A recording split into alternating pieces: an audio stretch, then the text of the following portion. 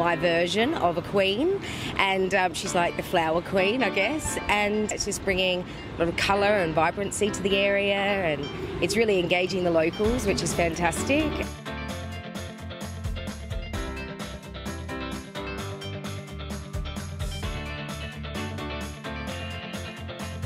I hope just by being out there on a public scale um, that it will inspire young girls and, and women to, to get involved and to find their own legal walls and um, create their own artworks. I think the more women and the more art out there, especially by women, the better.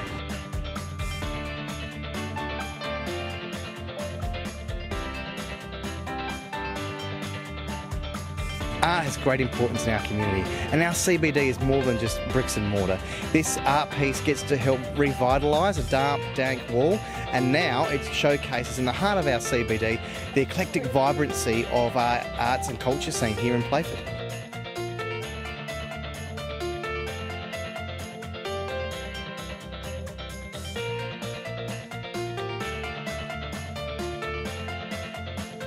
It's so important. I think it engages people, engages conversation, and I think they the amount of people that have walked past while I'm painting and then they take that home. They have they converse in the car about it, and I think it's just such a it brings such a positive influence to an area. I think it is just the beginning.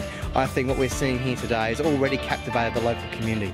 Kids are stopping and wanting to have a photo by it, mums are talking to the artist, and it really showcases that we can have bright, eclectic, fun art pieces in the heart of our business district.